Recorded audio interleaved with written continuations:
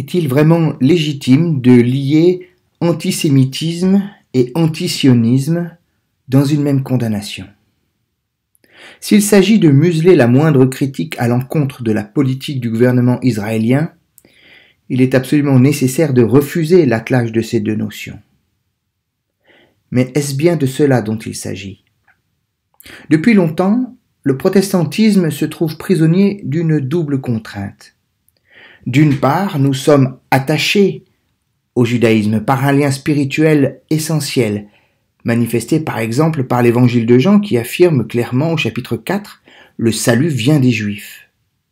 Notre philosémitisme s'est aussi renforcé par la connivence historique du peuple protestant vis-à-vis de tous les persécutés, prenant la forme que l'on sait pendant la dernière guerre mondiale.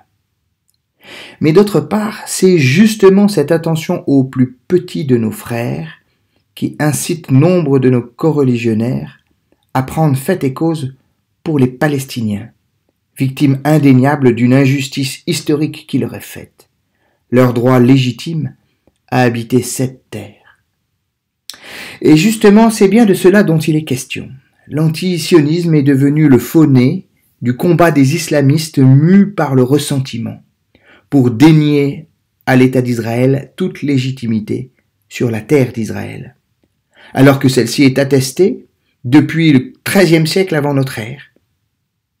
L'antisionisme prend la forme d'un refus opposé à Israël d'exister par lui-même. Et en ce sens, il relève bien de l'antisémitisme.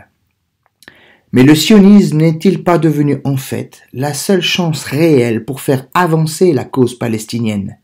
Sans doute pas sous la forme d'un combat pour un État souverain qui n'a jamais existé, mais pour la reconnaissance des droits humains de tous les habitants de cette terre.